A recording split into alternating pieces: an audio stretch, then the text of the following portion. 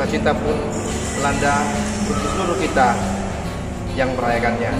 Kami dari keluarga Bernardus Tanggang, Dr. Imelda Purba, Yatania Martin Tanggang, dan Depen Samuel Tanggang menyampaikan selamat Natal buat kita semua.